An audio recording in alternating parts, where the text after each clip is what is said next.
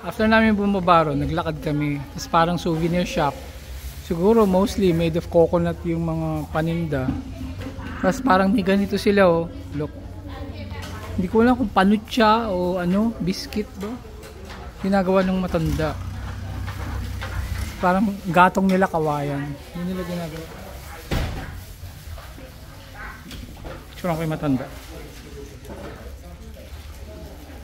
Tapos may free drink silang in-offer. Ang lasa niya sa totoo lang, parang coco jam ng kainta. Yan o. Coco jam ng kainta.